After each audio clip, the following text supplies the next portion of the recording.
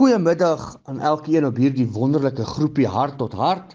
Ek groet u elkeen vanmiddag in daardie kosbare naam van Jesus Christus ons Here en ons verlosser en ons saligmaker. Ekskuus my.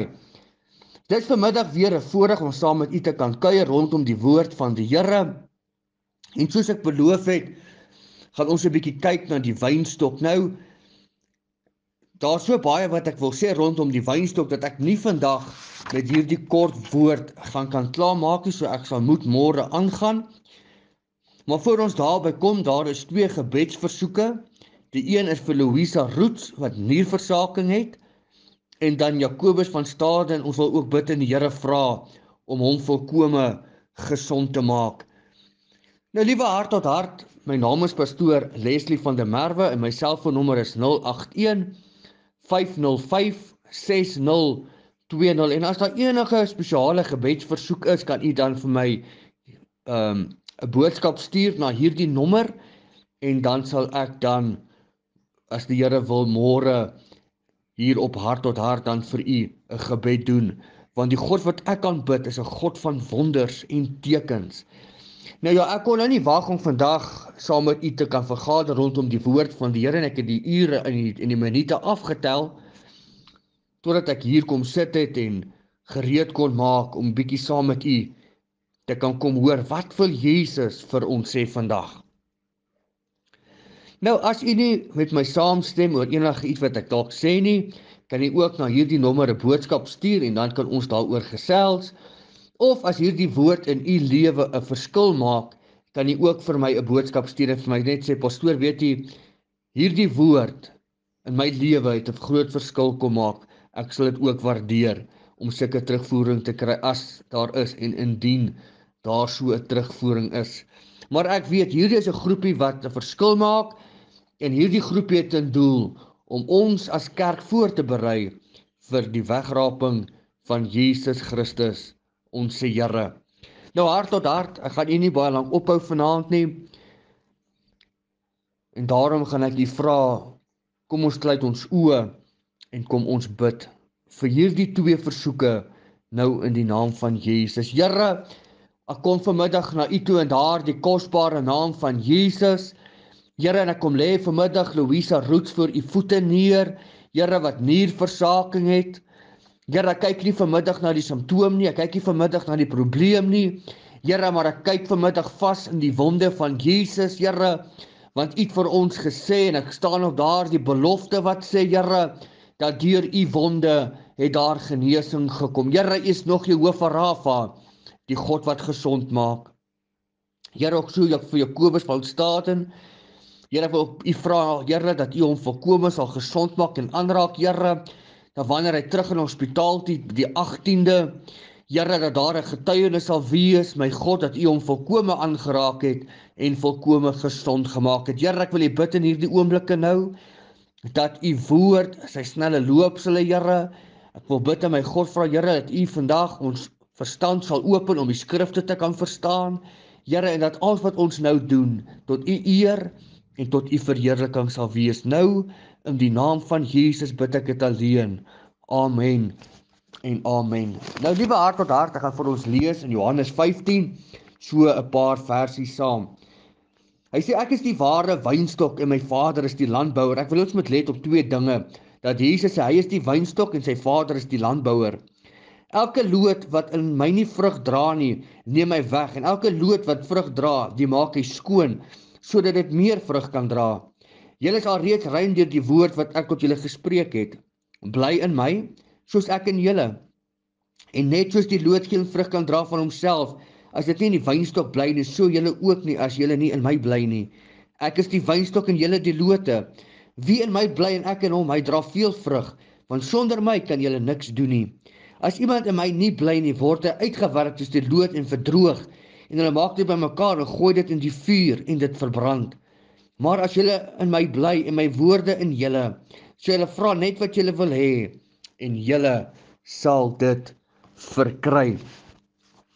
Nou wat 'n goddelike belofte is hierdie nie. As julle in my bly en my woorde in julle, so julle my vra net wat julle wil hê en julle sal dit verkry. Nou liewe hart tot hart, as ons Jesus wil ken, moet ons die wynstok bestudeer en verstaan dat Jesus die ware wynstok is en dat die Vader die landbouer is. Nou die nou die die loot wat in Christus nie vrug dra nie, die sny die landbouer af en dit word in die vuur gewerp. Maar die die die loot wat wel vrug dra, dit maak hy skoon sodat dit meer vrug kan dra. U sien Jesus gee sy Heilige Gees om ons oë oop te maak sodat ons hom kan aanskou en ons in ons harte oop te maak sodat ons hom kan ontvang. Dis nodig in hierdie uur dat die dat dat ons oë sal oopgaan. Dis nodig dat ons self gaan koop. Die boek van Openbaring sê ek raai jou aan om vir my te kom koop self om my oë te self sodat jy kan sien. Daarom het ek gister gesê dis noodsaaklik dat ons 'n persoonlike verhouding met Jesus Christus moet kry. Dit is noodsaaklik dat ons 'n intieme verhouding met Jesus moet hê. As ons wil weet wat hierdie ware wynstok is en wie die ware wynstok is en die voordele van die wynstok, dan moet ons 'n verhouding met hom hê. Ons moet 'n verhouding met Jesus hê. Ons moet 'n diep studie gaan doen rondom Jesus en waar Jesus vandaan kom en wie hy was en sy bediening hier op aarde. As ook sy bediening wat hy tans het ook in die hemel. Dit is noodsaaklik dat ons Jesus sal ken op elke vlak. U sien, dit is so maklik om mislei te word in hierdie uur. Dit is so maklik om ons ore uit te leen vir ander mense of na ander predikinge in die uur waarin ons leef en nie so seer te luister na die ware woorde van die evangelie van Jesus Christus nie. U sien liewe hart tot hart vriend en vriendin, die probleem soms is dat ons vir ons eie opinie vorm rondom die woord van die Here in steede daarvan om te aanvaar wat die woord daar sê en die betekenis wat die woord self vir ons deurgee. En daarom is dit belangrik vandag dat ons sal verstaan om nie iets by te voeg sodat dit ons kan pas of sodat dit by ons gedrag kan aanpas nie, maar ons moet onsself so inrig dat ons by die woord van God sal aanpas want dit is sy geskrewe woord en sy woord is lewe en sy woord is waarheid en daardie woord dra krag. So daarom sê Jesus, hy's die ware wynstok en my Vader is die landbouer. En ons moet die Here vra in hierdie uur dat die landbouer nie die loot wat nie vrug dra nou sal afsny nie, dat hy daardie loot nog 'n geleentheid sal gee, daardie loot nog 'n kans sal gee om vrug te dra. Ons moet die Here vertrou vir 'n magtige herlewing en 'n magtige goddelike deurbraak in hierdie uur. Jy sien alles wat die wynstok ooit vir sy loot kan wees, wil Christus vir ons wees. Met ander woorde Jesus wil hê dat ons wat die lood is, ons wat ingeënt is in die lood, Jesus wil hê dat ons vrug sal dra en as die landbouer kom en die lood skoonmaak dat ons veel vrug sal dra. Nie net vrug nie, maar veel vrug sal dra. Daarom sê Jesus: Dra dan die vrug wat by die bekering pas. Dit is so maklik om vandag te gaan kyk as ons rondloop in die dorp of in die straat of waar ook al ons onsself bevind, is dit maklik om na die mens te kyk. Doen jouself bietjie guns en en en let 'n bietjie op daar waar jy beweeg. Hoeveel Christene in hierdie uur waarin ons leef, dra veel vrug, dra die vrug wat by die bekering pas. Wanneer laas het ons by iemand verbygeloop en gesê daar loop 'n man Daar loop 'n vrou wat vol is van die van die Heilige Gees. Daar loop 'n man, daar loop 'n vrou. Hulle openbaar Christus. Wanneer het ons so openbaring gehad? En dan moet ons ons kop in skaamte laat sak en en, en erken vanmiddag lanklaas. Wanneer laas het iemand na ons toe gekom en gesê, "Weet jy wat? Ek sien iets by jou wat ek nie het en ek begeer ook om dit te hê wat jy het." Ek wil ook hê wat jy het. En al ons dit gaan regkry in hierdie uur is om te besef en te weet dat Jesus is die wynstok en ons is die loot. Ons as mens kan nie die wynstok wees nie. Ons kan net die loot wees. Ons kan die ons is die loot waaraan die vrug hang. Ons is die loot wat wat die wat die vrug moet dra. En deur hierdie wynstok word daar lewe geproduseer na die loot en die loot dra dan vrug. Maar hy wat nie vrug dra nie word dan afgesny sê die woord van die Here. Daarom sê Jesus in vers 5, hy sê: "Wie in my bly en ek in hom dra veel vrug, want sonder my kan julle niks doen nie. Ons kan niks doen nie. Met ander woorde in onsself kan ons nie vrug dra nie. Ons is nie geskape om vrug te dra nie. Ons is nie geskep om die wynstok te wees nie. Christus is die wynstok. Die Vader is die landbouer. Hy is die een wat die lood skoon maak sodat die lood kan vrug dra en veel vrug kan dra. Daarom moet ons in hierdie uur daarna streef om vrug te dra. Daarom moet ons in hierdie uur streef om 'n verhouding met die koning van die konings te hê. Ons moet streef om 'n persoonlike verhouding met Jesus Christus te hê in hierdie uur. Dit is van kardinale belang. En daarom het ek vir u gesê alles wat die wynstok ooit vir vir die loot kan wees, wil die Here vir ons wees wat die loot is. Dis nodig dat ons dit sal besef en dit sal weet.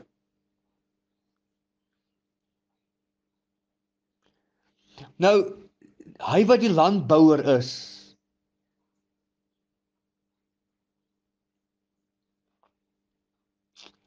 speel 'n baie belangrike rol. Jy sien Christus het die ware wynstok geword sodat ons die loot kan wees. Die loot wat kan vrug dra. En ons gesindheid moet ook wees soos Christus se gesindheid was. In onsself kan ons niks doen nie. Jy sien, net so afhanklik as wat die wynstok van die landbouer is vir die plek waar hy moet groei, vir die omheining, vir die besproeiing en die besnoeiing, so het Christus homself geheel en al afhanklik gevoel van sy Vader elke dag vir wysheid en krag om sy Vader se wil te doen. Daarom het kon Jesus sê in Johannes 14 vers 10 dat die woorde wat ek met julle spreek, spreek ek nie van myself nie, maar die Vader wat in my bly, hy doen die werke. Dis die Vader wat die landbouer is, die Vader wat die werke doen. Dis die Vader wat die werke doen. Jy sien, Christus het gekom om ons na God te bring. En net soos wat soos wat Jesus God vertrou het, moet ons ook God vertrou dat die enige ding wat ons moet wees of hê, soos hulle wat aan die wynstok behoort, aan ons sal gegee word van omhoog. Ons wat die wat die loot is, moet ook kan staan en moet ook kan sê soos Jesus in my in onsself kan ons niks doen nie. In onsself kan ons nie vrug dra nie. Ons het nodig om ingeënt te wees in die wynstok en toe te laat dat die landbouer wat die Vader is kom om die loot skoon te maak sodat die loot kan veel vrug dra. En ek weet soms dat as die Vader die loot skoon maak is die is dit nie altyd aangenaam nie. Dis nie altyd aangenaam wanneer die lood skoon gemaak word nie, want ons wil nie altyd hoor en sien die foute in ons lewens nie, maar dis noodsaaklik dat die Vader soms moet kom en deur sy woord die lood skoon maak sodat die lood kan vrug dra. Ons as die loot moet kan vrug dra. Ons Vader is ons landbouer. Die sekerheid van ons groei en ons vrug, die dra van ons vrug. Dis noodsaaklik dat ons sal weet wie die landbouer is. Die landbouer is die Vader, Jesus is die wynstok, ons is die loot. Ons is die loot. Nou sê jy vir my vra wat is die loot? 'n Loot is 'n eenvoudige stuk hout voortgebring deur die wynstok vir die een doel om hom te dien deur sy vrugte te dra. Dit is van dieselfde aard as die wynstok en het dieselfde lewe en dieselfde gees. Dink vir 'n oomblik wat ek sopas gesê het. Dink vir 'n oomblik na wat ek sopas vir u gesê het. Dit is van dieselfde aard as die wynstok en het dieselfde lewe en het dieselfde gees. Jy sien, omdat ek deur God geplant is in Christus, gee ek my onverdeeld oor om vrug te dra wat die wynstok verlang dat ek moet dra.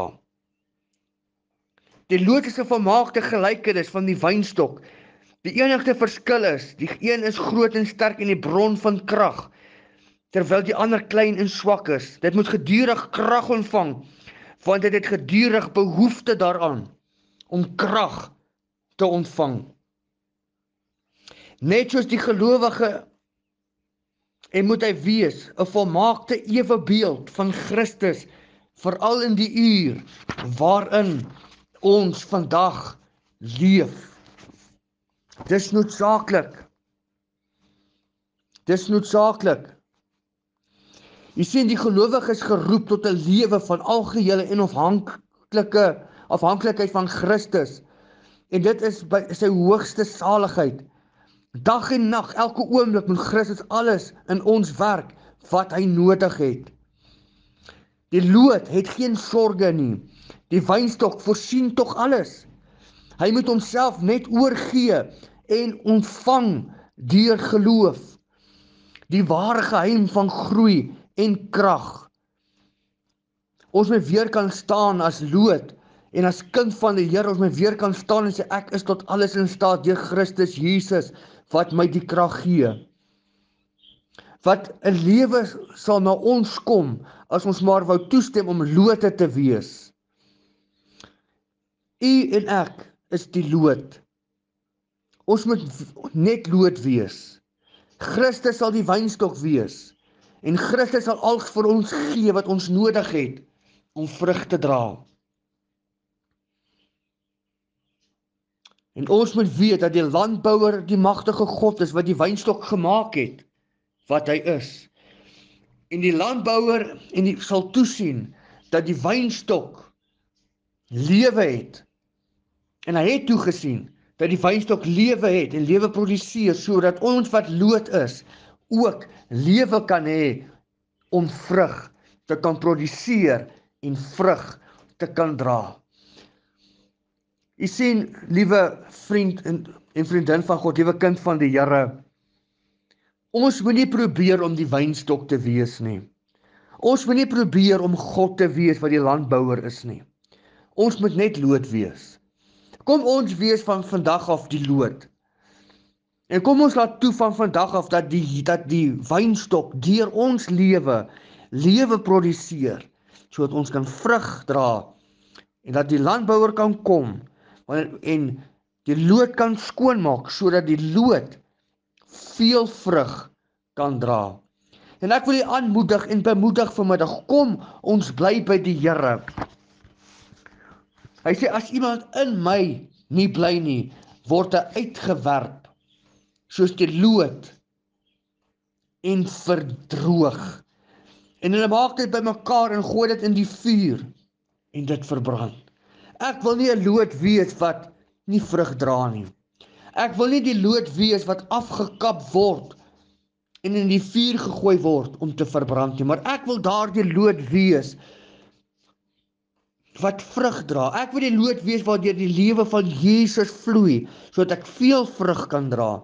Al kom die landbouer na my toe om die lood skoon te maak, al maak dit seer, weet ek op die einde van die dag dis sodat ek veel vrug kan dra. Ek wil in Christus bly. Ek wil in die wynstok bly. Ek wil by die aan die voete van die Here bly. Ek wil vandag die lood wees en niks anderstes as dit nie.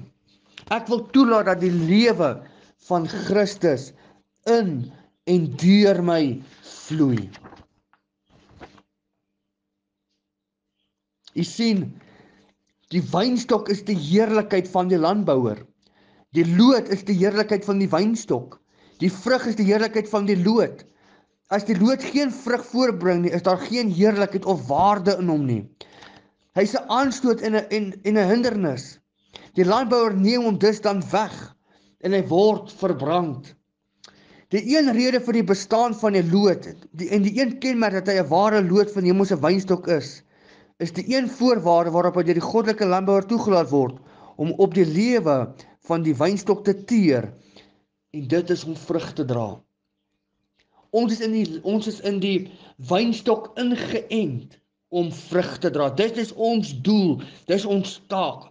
En dis nie ons vrug nie. Dis sy vrug. Dis die wynstok se vrug wat ons moet dra.